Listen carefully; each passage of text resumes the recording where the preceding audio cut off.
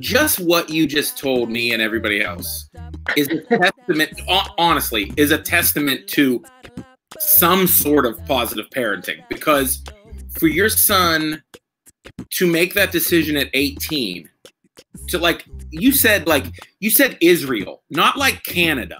You know what I mean? Like although you can't get in there from here now, but yes, I agree. I mean, that is a huge deal. I mean, it is, and I think one of the coolest things that I encourage parents. You know, one of the, the the only group of people that I think it's still universally okay to rain down nastiness about are teenagers. Hmm right? We have this sort of cultural like, assumption, and people might think that I was doing it when I was talking about how kids go from being a puppy to being a cat.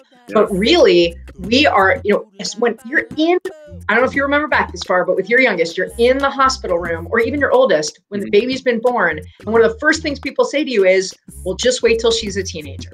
Right?